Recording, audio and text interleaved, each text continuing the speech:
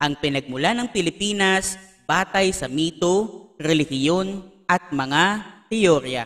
Kakibat ng ating learning target na kaya kong maipaliwanag ang pinagmula ng Pilipinas batay sa teorya, mito, at relihiyon. Ngayon mga anak, magsimula tayo sa pinakamahalagang katanungan para sa araw na ito. Nasisikapin nating masagot sa dulo ng ating talakayan. Saan nga ba nagmula ang Pilipinas? Mga anak, mula sa mahabang pag-aaral ng kasaysayan ay nakapagbigay ang mga sayentipiko at mga Pilipino ng tatlong magkakahiwalay na kategorya kung saan nagmula ang Pilipinas. Una ay ang pinagmula ng Pilipinas batay sa mga mito o mga alamat at kwentong bayan. Pangalawa ay ang pinagmula ng Pilipinas batay sa relihiyon. At pangatlo ay ang pinagmula ng Pilipinas batay sa mga teorya ng mga siyentipiko. At ngayon mga anak, magsimula na nga tayo sa ating talakayan sa pagsisimula sa pinagmula ng Pilipinas batay sa mga mito. Ayon sa mga alamat at kwentong bayan, mga anak, may tatlong higante. Tatlong higante, tatlong higante na nais malaman kung sino sa kanila ang pinakamalakas. Kaya kinuha nila ang malalaking bahagi ng lupa at ibinato ito sa karagatan. At kung sino ang unang no, makaabot sa pinakamalayong bahagi ng karagatan, siya ang mananalo. Sa tatlong ibinatong malalaking uh, lupain mga anak ay nabuo ang tatlong malaking isla sa karagatang Pasipiko. Ang Pilipinas na binubuo ng Luzon, Visayas at Mindanao. May isa pang kwentong bayan kung saan nagsasabi na mayroong tatlong anak na dalaga ang isang malaking higante.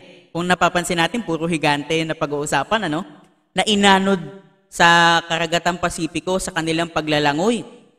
Noong nagdasal ang higante kay Bathala upang makita ang kanyang mga anak, ay nakita niya sa di kalayuan sa karagatan may sumulpot na tatlong malalaking isla.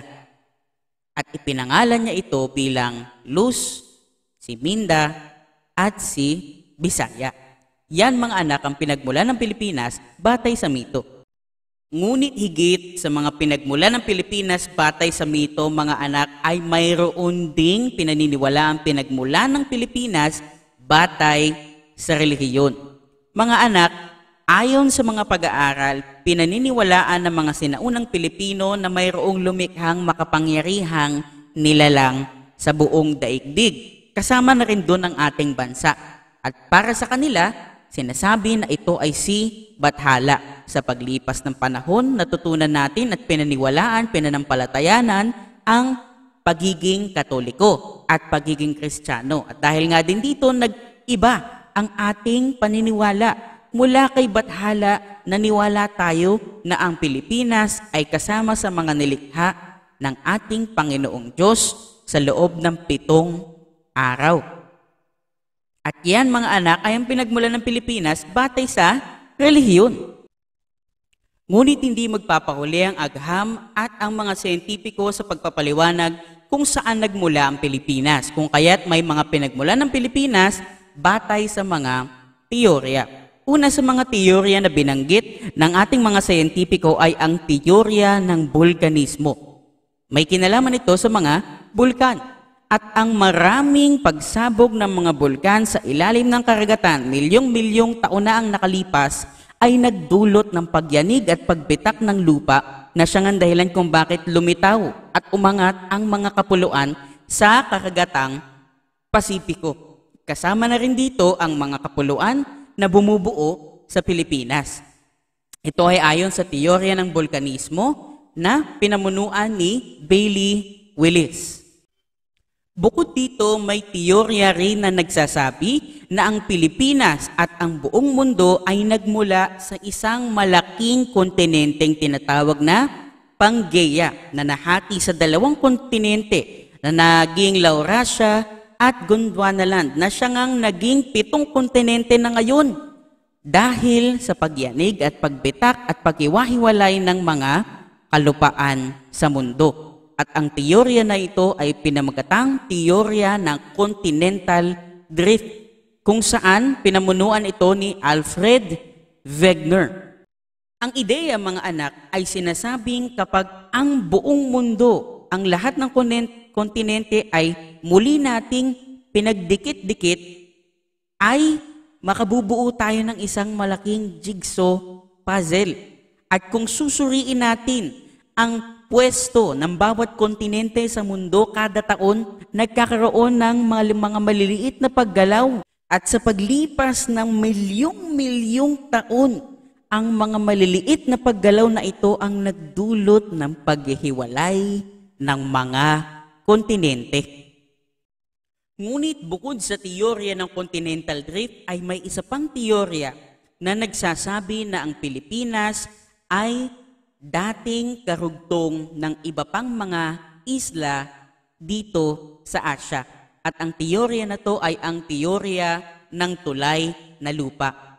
Milyong-milyon taon nang nakalipas, mga anak, sinasabing mayroong mga tulay na lupa na dating nagdurugtong sa Pilipinas sa iba't ibang bahagi ng Asya. At sa paglipas ng panahon, dahil tumaas ang temperatura ng mundo at natunaw ang mga yelo, lumipas ang panahon ng yelo ay umangat ang level ng karagatan kung kaya ang mga tulay na lupa ay natabunan na ng tubig. Ngunit pinapatunayan pa rin ito hanggang sa ngayon dahil mayroong mga uri ng hayop at halaman na identikal o kaparehas ng mga lugar na matatagpuan sa Pilipinas at sa mga karatig bansa nito na sinasabi ngayon na nakaabot sa Pilipinas dahil sa pagtunton sa mga tulay na lupa na dating hindi pa natatapunan ng tubig. Ayon ito kay Henry Oatley Bail. Mga anak, napakahalaga ng paksa na ito bilang Pilipino para sa atin. Bakit? Dahil ayon nga sa sinabi ni Dr. Jose Rizal, ang ating isa sa mga pambansang bayani ng Pilipinas, ang tao na hindi marunong tumingin sa kanyang pinanggalingan ay hindi hindi makararating sa kanyang paroroonan. Kung hindi natin kayang buksan ang mga libro na hihinuha sa mga kaalaman sa ating kasaysayan, hinding-hindi natin malalaman ang ating kinabukasan. Kung kaya't napakahalagang matutunan natin kung saan tayo nagmula. At dahil dito, naipakikita din ang atin na natin ang ating pagmamahal sa sarili nating bayan. Muli ako, ang inyong guro si Ginoong B, nagsasabi, patuloy na aralin ang kasaysayan at gamitin ito para sa ating kinabukasan. Magandang araw sa inyong lahat at pagpalain tayo ng Diyos.